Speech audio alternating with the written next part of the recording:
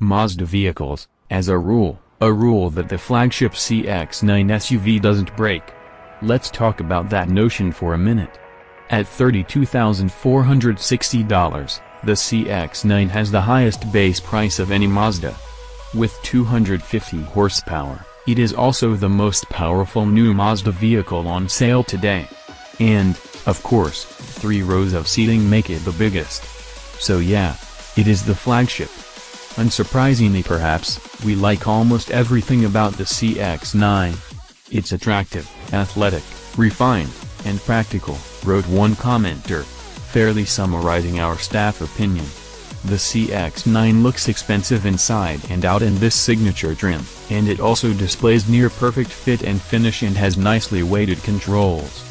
The interior, in particular, continues to impress most drivers, even compared with the endless parade of luxury brand crossovers that come through our office.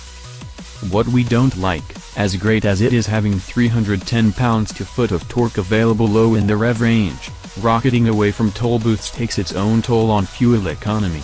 Even on long trips, we've seen well shy of the 26 mile per gallon EPA highway estimate.